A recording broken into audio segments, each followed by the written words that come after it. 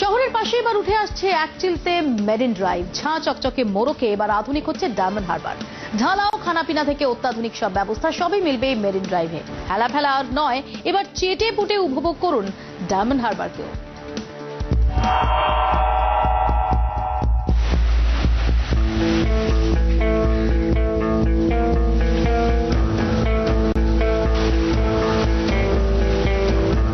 কলকাতা থেকে মাত্র কয়েক ঘণ্টার রাস্তা।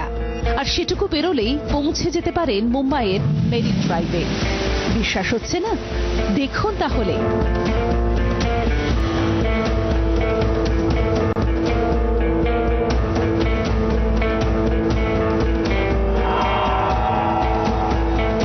পড়ে থাকা ভাঙাচোরা নদীর পাড়ের দিন শেষ।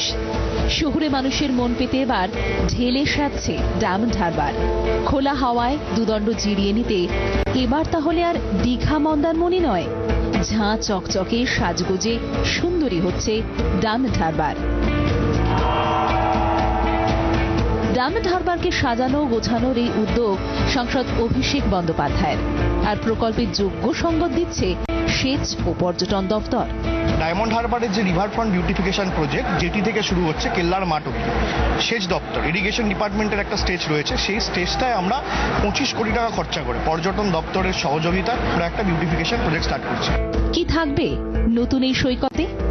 বাঁধানো পাড় হাঁটার জন্য আলাদা ট্র্যাক নির্দিষ্ট বাজার এলাকা রিফ্রেশমেন্ট সেন্টার সবই থাকবে নতুন সৈকতে। হাতে সময় থাকলে এই মেরিন ড্রাইভেই পেয়ে যাবেন মনপসন্দ মাছ। চিংড়ি থেকে ইলিশ মিলবে সব। সংস্কারের সাত কাহন।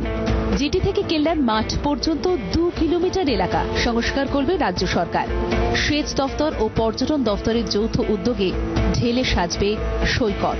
সৌন্দর্যনের এই প্রকল্পে খরচ হবে প্রায় পঁচিশ কোটি টাকা। মাসখানেকের মধ্যেই শুরু হবে প্রকল্পের কাজ। আর মাত্র বছর খানেকের অপেক্ষা দু হাজার কুড়ি সালের মধ্যেই এই রিভার সাইড প্রকল্প সম্পূর্ণ হবে। অন্তত তেমনটাই মনে করছে প্রশাসন।